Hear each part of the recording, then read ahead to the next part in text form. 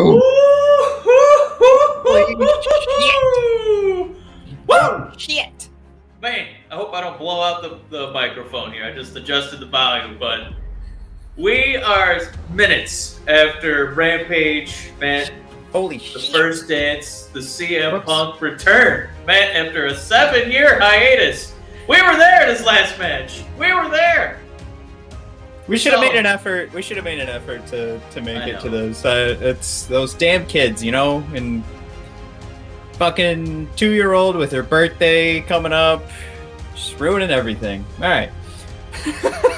Well, hi everybody, and welcome to a pipe bombing, ice cream treating, CM motherfucking punking returning episode of the Brothers of Discussion. Matt, we're gonna talk the end, the hiatus. It's over. He's back, man. Punk's future with the company, uh, a once in a lifetime pop. Um, definitely up there with the loudest wrestling crowd reactions ever nay, live event reactions ever. Um, and then I don't know, maybe we'll make some time for a SummerSlam preview. Who knows? But Matt, first, oh my God, we talked uh, a, a couple weeks in a row. You know, AEW has a lot of pressure on their shoulders. Uh, North Moto, what's up? North Moto dropping. I thought I was the only one who kept hours like this. No, not on CM Punk night, brother. Not on CM Punk night. And our boy Tristan's here too. Yeah, happy CM Punk night. Good to see You, you. you better, yeah, you better get out of here, Tristan, because I'm about to. Uh, I'm about to talk. Uh, I'm talk pretty well about uh, Chicago and the in the area and the pop they gave. We're talking very I glowingly about do. that. Yeah, Yeah, that city. Something I have to do. They hit a ninth inning grand slam. It was a perfect crowd reaction. But man, we talked uh, for weeks. If Punk is actually coming back, a lot of pressure on AEW shoulders, right, to just get this get this moment right. And man, did they deliver! Um, Yeah. They, they didn't overthink it at all. You know, they put that that moment and the responsibility of two parties, the city of Chicago and CM Punk's Mike skills, and both parties stepped it up huge. Um, that crowd could not have. You couldn't ask for a better pop. That was that was up there with the Stone Cold, you know, Crash in the Mankind Championship. That was the the the volume of a like a Hulk Hogan heel turn. That was just one of the great loud pops ever. Um, and and Punk. We wondered, right? We wondered what that promo was going to be. That first one, you know, he had to make some mention of WWE. Um, Yep. You know, he made some commentary there about um, being in that company. Uh, he was never going to get physically, emotionally, or spiritually healthy. Um, whew, still, uh, I don't think he's ever going back to WWE. Um, but uh, man, he uh, he he hit every note I think that you could have wanted out of a debut. And uh, you know, like he said, he he said a lot of that was unplanned. He wanted to see how he felt in the moment. And uh, I think Chicago definitely put his mind in a great spot. I think that AEW is going to be perfect for for Punk in his wrestling career. Man, what a what a debut! Um, Matt, your your initial thoughts on this? Well, it's just it's so funny. Uh, and Amy, I'm glad you're here. Uh, she's still in shock. Um, I think I want to jump on that first because I, so I'm in, I'm here. I was right where I'm standing right now watching it because we're still getting prepped for uh, a birthday party this weekend, and so I, you know, I'm I'm making space. I'm letting Michelle watch what she wants to watch because she's doing, she's like getting crafts ready and stuff. So she needs to be able to watch what she wants to watch. So I'm in my office watching this, and that pop. I mean, I'm stand, I'm standing here, and I'm, I'm, where, I'm in Michigan right now. I'm so, you know, I'm, I'm not near this. But you know, I made the I, I put the tweet out there like you could feel it, and I said I could feel that in Michigan. Um, but really, it was just like there's so much raw power and emotion in that. Um, you know, we're we're hockey fans too, um, and there's something about like those those overtime goals, even for teams that are not Detroit Red Wings, and I I just get so pumped for it, and I go back and watch highlights of overtime goals because you love to see the roar of the crowd. But Mike, I would challenge any hockey crowd, any football crowd, any basketball crowd to not even like they don't even know the overtime goal is coming, right? So they get the surprise of like, oh, we might lose, but oh, and and instead it's it's weeks uh, of AEW. Uh, I don't know if you even want to say lightly teasing. I mean, it was pretty in your face of all the the CM Punk teasing on uh, AEW Dynamite and right. Rampage episodes, and um, you know, you you get all revved up. You you know it's coming, and it's still there, and just the outburst is just. Oh, it, it, felt so good. I, I said I was actually shaking at the time. Um, it was just one of, I mean, it wasn't like I was, you know, like my hands were like this. It was just, uh, part of it was because I had a cold brew so that I could stay up and I'd have the energy to talk about it right now. But um, I, I was just so excited. It's, it's just, uh, we I, I feel like over the last couple of years i've only been saying this about aew um sometimes with nxt but i keep having that reminder of like this is what pro wrestling is supposed to feel like. We said that from the very first aew pay-per-view. We've said it for most aew pay-per-views. Even if the stories are clumsy going in when you walk away from that and a lot of it is crowd reaction so you know, we missed out on a lot of it last year, but you know, I'd, I'd go back to like the roar wasn't the same, but it's like when Moxley and Kingston first came through on that Wild Thing song, uh, walking through, you know, the first live audience that they had. Yeah. And that was something where it was like, it's a completely different roar, but it was, it's, it's so much different. It's so real. It, it feels like you're more a part of it in AEW. And uh, it just, there's a better relationship, I feel like, between the show and the fans, and it makes these pops, these moments. Um, we, we've been saying AEW needs special moments, but maybe they're special for a different reason. And that's why it's not to the level of like uh, John Cena coming back because they have they have something that AEW is never going to be able to touch. But CM Punk is one of those things, and oh my gosh, um, they they just nailed it. I, I don't know. It's um, I know I'm all over the place, but ultimately it's just like uh, it, it's pure joy and excitement. And I yeah, I hope I a lot of all, people. I hope a lot of people cut, are we're sharing all cutting CM Punk uh, promos tonight because we're all just kind of heartfelt. Like I, I didn't think this moment would ever happen, and then there it was, and then uh, Creation Matrix dropping it. When I saw it on TV, I peed a little. when I saw, yeah, I saw that comment pop up. I was like, oh, that is, it's gold. Yeah. Um, you know, I, know we, I think we all need uh, to invest in uh, Calico cut pants tonight. Um, well, I was gonna say if uh, if it's it's a gold, uh, you know, this, this comment here is gold, and ah, fuck, you ruined it because you stepped on it. But I was gonna say if he's dehydrated, it's gold for two reasons. God damn it! All right, let's keep rolling. That was a fucking failure. All right, I'm sorry.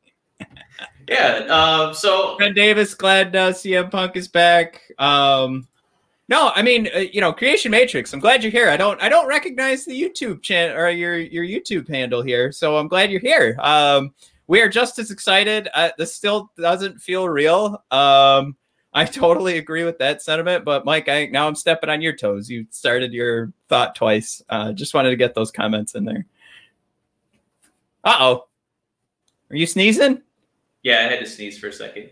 Oh, um, yeah.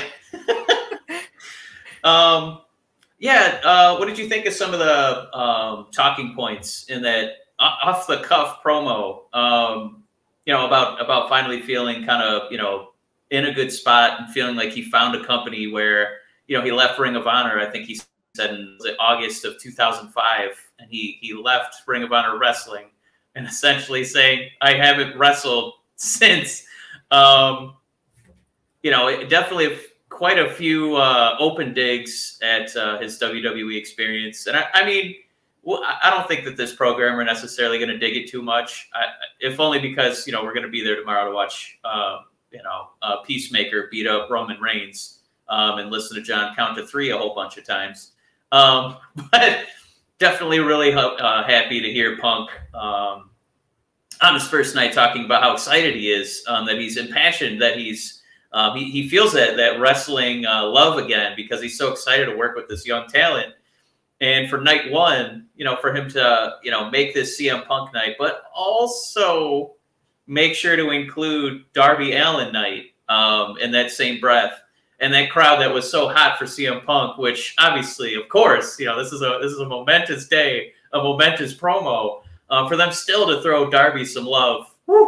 That guy is uh, he's going to be a made man, and uh, I'm, I'm really excited for that that match in September. That's that's going to be big. But yeah, any of the talking yeah. points kind of jump out at you that you wanted to touch on? How about uh, the only guy on planet Earth who can stop a CM Punk chant with uh, "Hey guys, give me a sec." I absolutely love that. Like um, the power that you have to be able to stop that chant. No other person in pro wrestling has it. Like even Paul Heyman needs to do some Houdini magic uh, to to get the fans to think one way, and then he oh whoop, whoop, whoop, oh I'm this way, and then they, they, they have a little giggle at Paul Heyman. But you got to put in effort. You know when you know those those CM Punk chants are coming, you got to put in effort. You got to be ready to go. Uh, you probably have to have notes on your hand to make sure you don't lose your place. Punk just rolls right through it, man. Um. But I, I love too that he he threw that out there. You know, the last seven years, I I heard you guys and uh, I kept coming back to all the moments that there were like not CM Punk chants, but like CM Punk riots, you know, like at WWE live events. Like there's no Monday Night Raw tonight. Tonight is we're only chanting CM Punk. And you'd go to, you know, the what what was his old uh his old Twitter handles like player coach or whatever. Yeah. But it was still, you know, it's at CM Punk and uh, you know, no mention of it. He he'd talk about you know the Chicago Blackhawks game. Uh, he'd, he'd talk about something he was watching on TV. Bring up Gordon Ramsay or something that he's watching, and not nothing. Like he wouldn't talk about it. But this was that moment for him to recognize uh, of our love. I, I think it was great that he recognized like our, our disappointment in him because he doesn't have to do that. And we've talked out of both sides of our mouths i think during this time the seven years that he's been gone uh, that you know at, at some points we were asking fans to like all right chill. All right let nakamura finish his promo before you jump into your cm punk chant. Uh, but then on the other side, you know, um, we did want Punk to come back, and we would jump into like the Royal Rumble rumors or something like that. Or initially, when AEW started and there were Punk rumors, we were excited about it. Um, but then, you know, we've we've also had our times. You know, we'll listen to, to uh, the um, the Colt Cabana podcast when uh, CM Punk initially came out and gave all of his, you know, his whole explanation and you're just like you listen to it and maybe a couple of weeks later you're thinking back on some of the things he said and you're just kind of like gosh i wish i wish there's some way that this could work out you know and and maybe that's not necessarily too much disappointment in him maybe it's just the seven years of of trying not to acknowledge it i think is where we were a little disappointed in punk and we wanted to yeah. get a little more you know hey guys, sorry, I'll, I'll, be back at some point instead of always just brushing it off until, you know, except for the last couple months. Um, but yeah, I, there, there's so many different feelings that we've had like throughout the, the hiatus here. And I, I would just say it was, it was pretty nice of somebody who owes us nothing. Um, he could have sailed off into the sunset as we always end our episodes with. And he, he didn't need to say yeah. sorry he didn't need to do any of that and he, he still took the time. And um, you know he's honest too. There's there's so much honesty with he he wanted to come back for us but he was also coming back for himself. Um, eh, there's just there's something about missing a guy like CM Punk where we've been talking the last couple of weeks about missing a guy like John Cena. Um, you miss a guy like John Cena and I always go back to our our casting table, right? We, we always, I always talk about you got to have good casting. That's how you get a good pro wrestler. I don't care how good he can wrestle. If you want him to work in pro wrestling, he's got to be able to grab the mic. He's got to have the right voice. There's got to be the right cadence. Like that is, those are things that I think are undervalued, but well, they. Speaking of casting, work. is is it just me or is he starting to look like John Hamm? well, I said Keanu Reeves was going to play the uh, was going to be in the biopic uh, only because he could still deliver the line. Uh, everybody keeps asking if I'm back. I'm thinking I'm back. Um, but yeah, no, that was a good interruption on your part because I was just going to keep going and going and yeah, going. I would say, um, you know, like the timing of his comeback too. He is such a good uh, businessman. Um, I mean, I'm sure he could have just went to any indie promotion and they would have picked him up. But I mean, to to pick AEW, to pick something where he's going to have a podium, right, to kind of mm-hmm. get this CM Punk story out. But touching on the business part, I know that's kind of the you know not as fun portion of the the smart business side of um, you know Punk the man.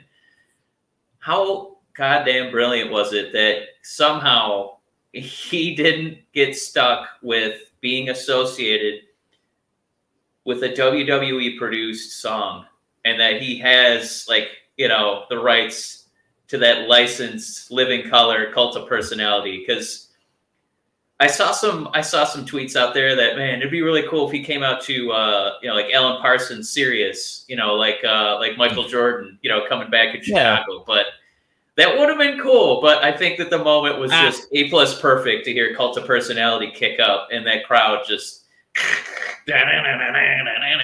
man it's it's such a perfect like identifying song with him those lyrics are just they're just they're just made for him I know I know that uh, um, uh, Living Colour, uh, they probably wrote it for a slightly different reason. Um, but it, it just works so perfectly with, with what the punk character is all about. So man, that, that, that music touching, um, you know, all the, all the nostalgia and just really, just really cementing that whole feeling was Can fantastic.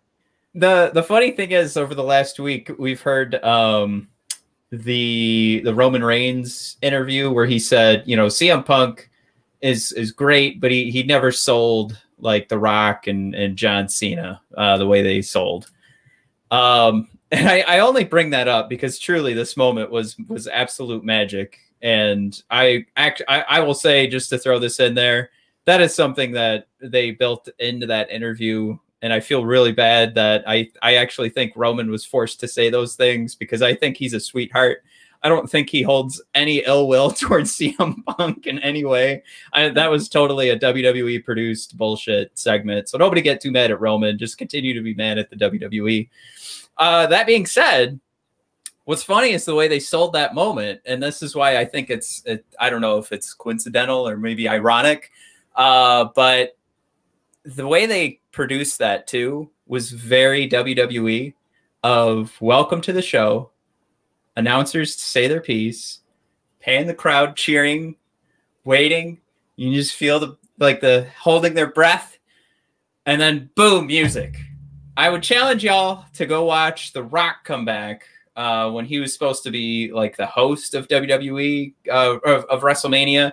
Uh, when he came back, I think everybody kind of knew it was The Rock but they did that same thing where they just waited and waited and waited and waited and waited and just had the crowd like on, oh, is it happening now? Isn't anything happening? Is a match going to start? Oh my God, what's going to happen?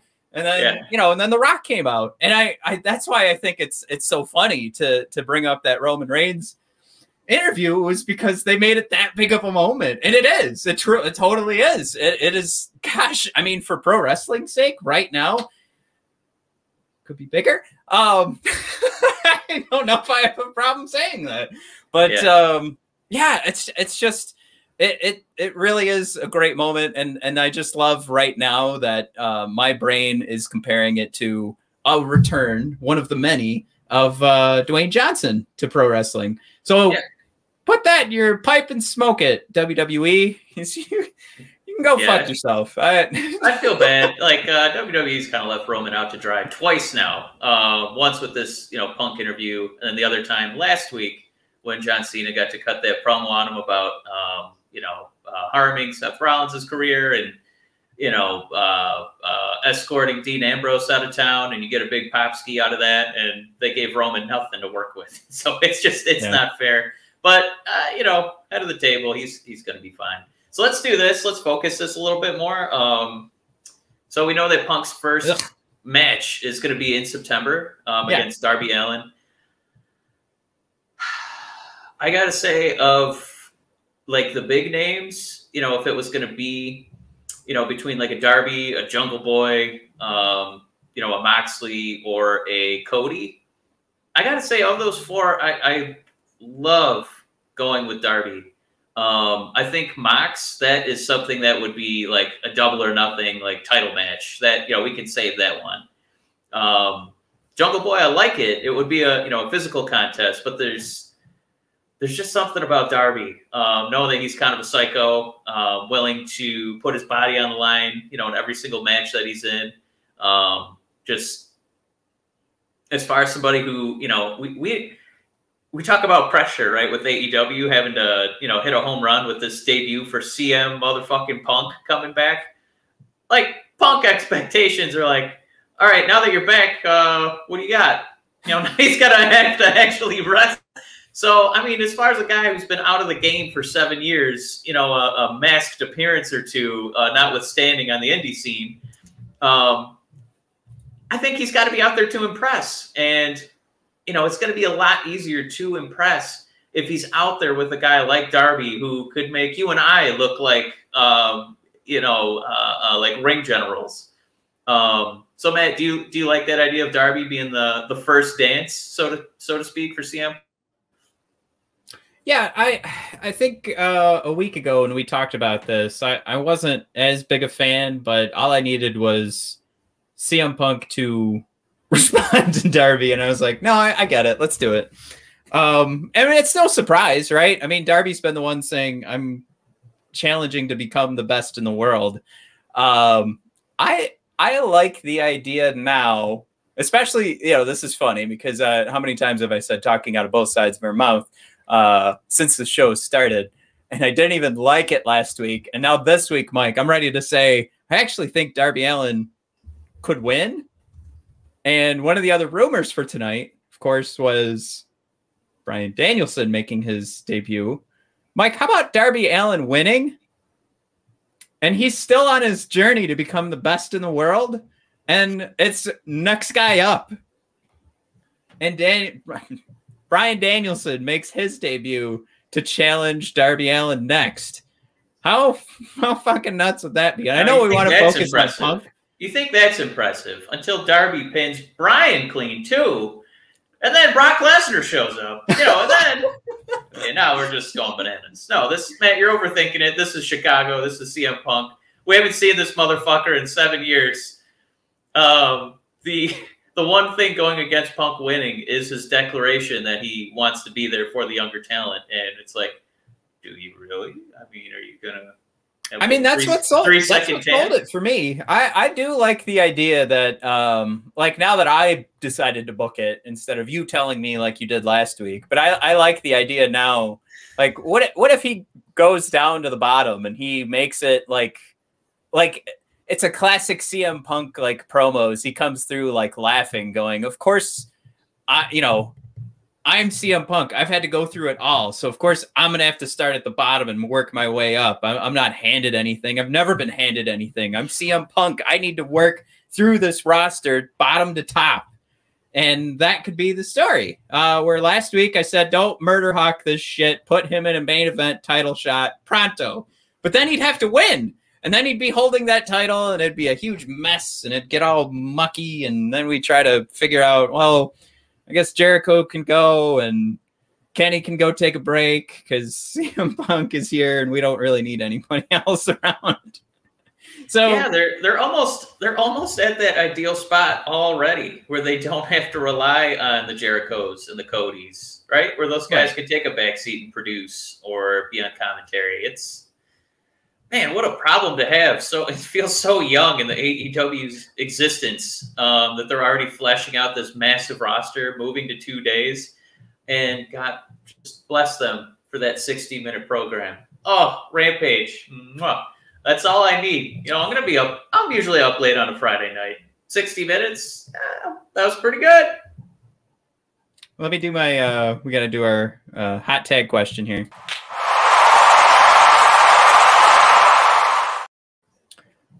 Mike, do, do, do you think with the one hour, like they, they might already be rethink, rethinking this one hour show?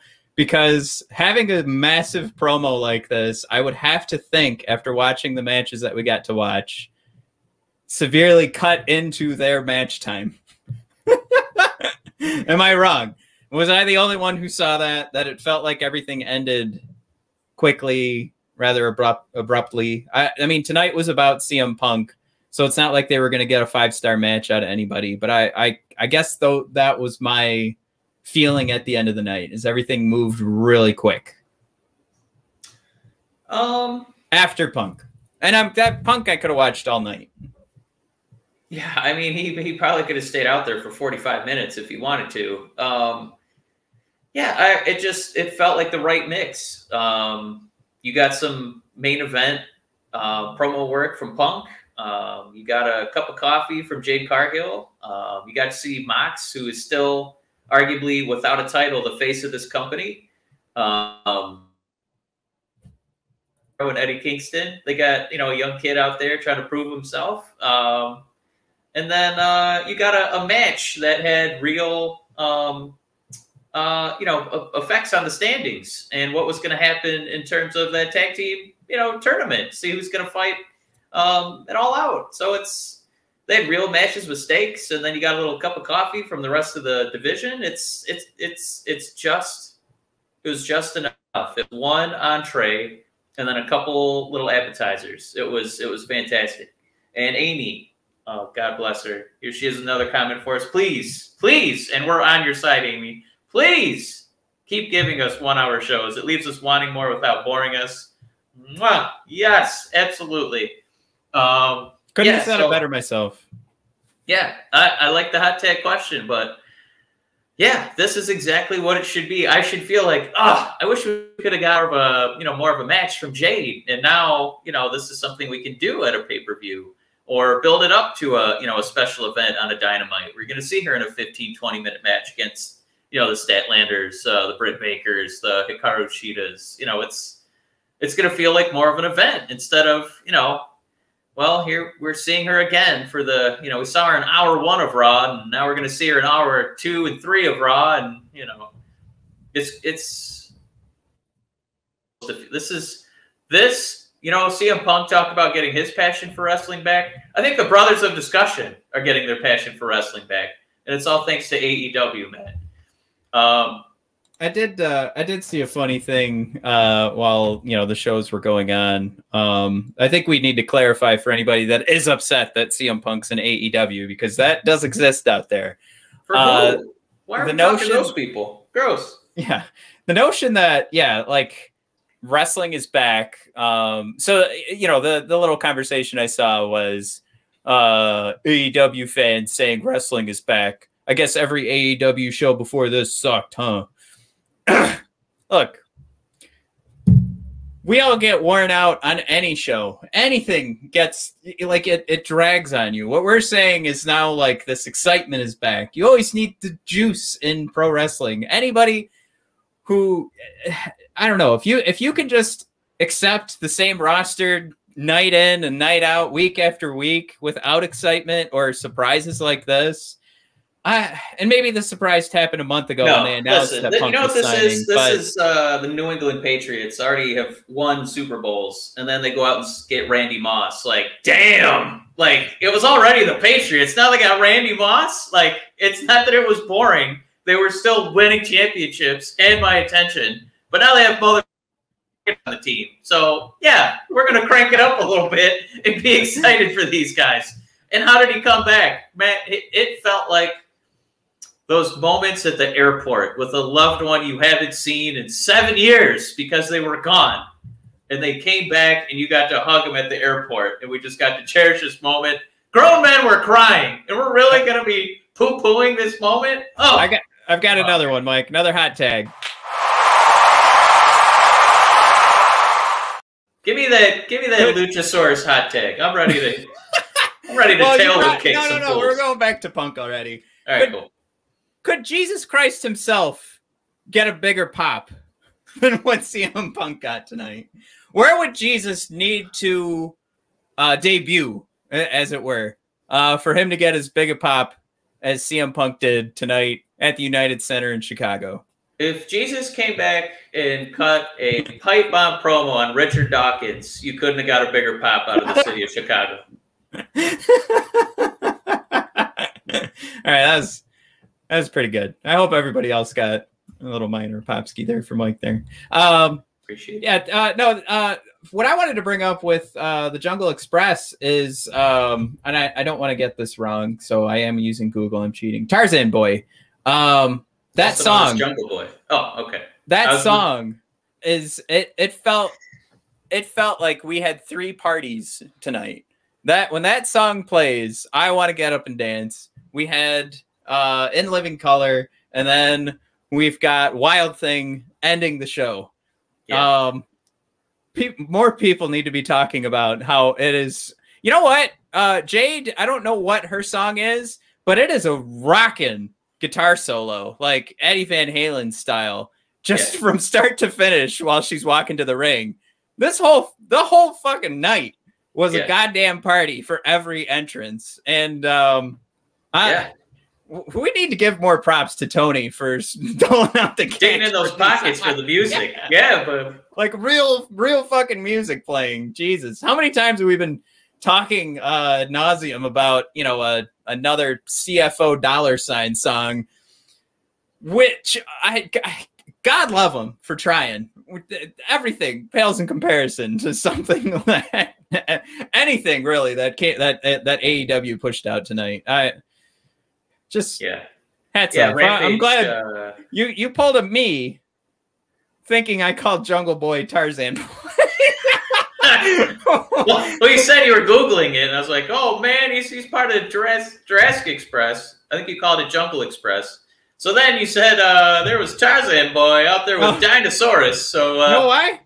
what? Wait, here. I, I'm reading our notes. That's why.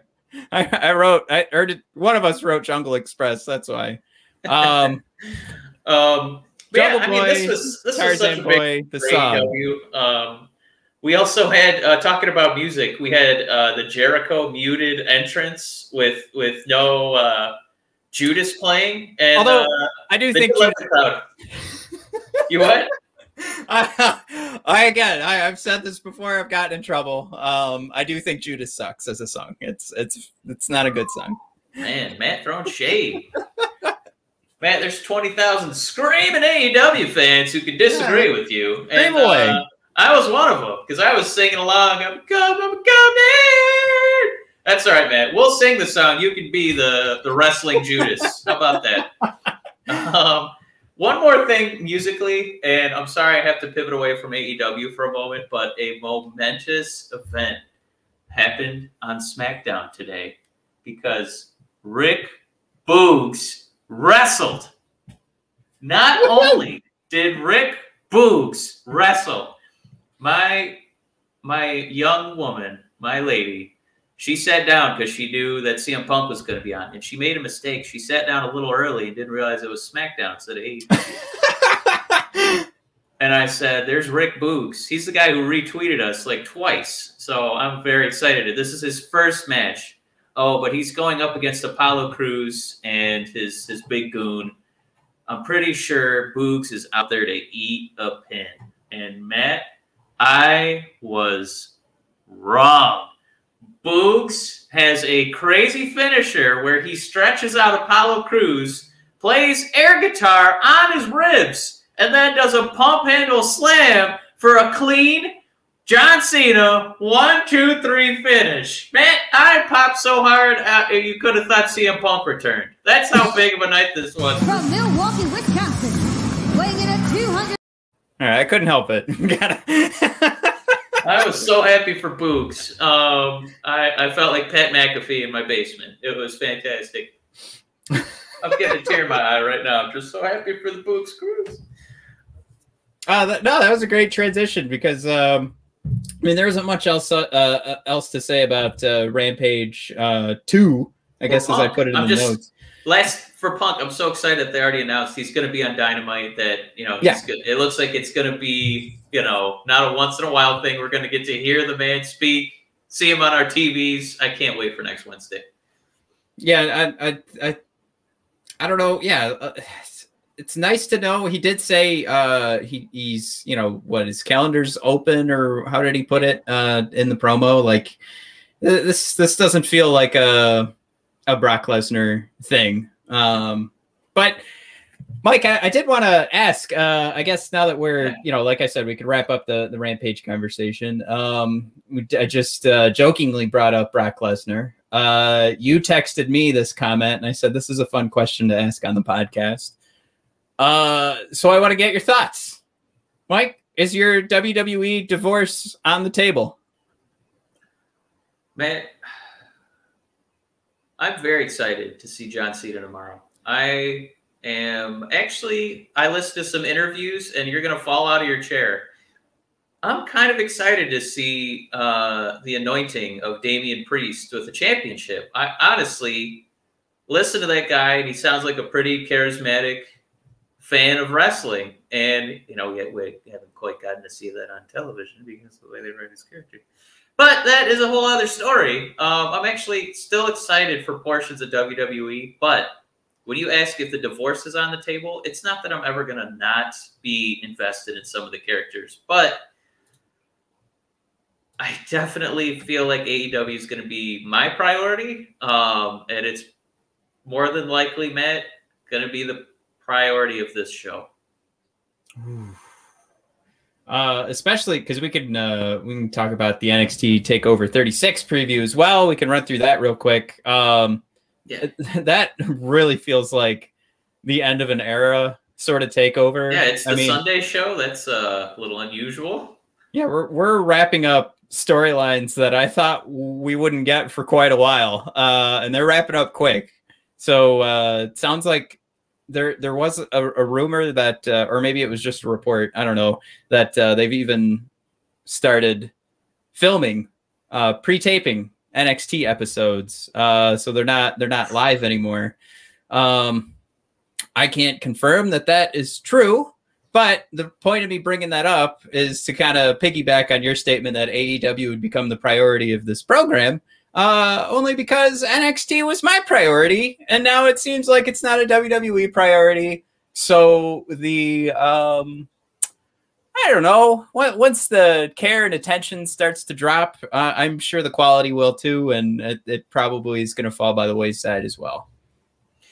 I mean, yeah, you know, I, am going to stand by my point. Oh I'm my god, Amy. Amy with the I'm not divorcing WWE, but they're definitely my side piece. Um that Jesus, Amy, we need to get you on the podcast. That was way more eloquent and beautiful than anything. That and I still, we still got to go shopping and see if we can make that uh, Missouri show happen. Because now I really, now I, I really want to go and see CM Punk in person. So we'll get that figured out. Mike, we're ready to sail off. Um, Yep. This was a fun episode. everybody. Yeah. yeah, everybody uh, that tuned in for their first time to watch uh, the Bros of Discussion, please subscribe uh, to our YouTube channel. Uh, we would greatly appreciate it. We are also covering uh, the Red Wings. We play some video games every now and then. You can find our Twitch channel also as the Brothers of Discussion.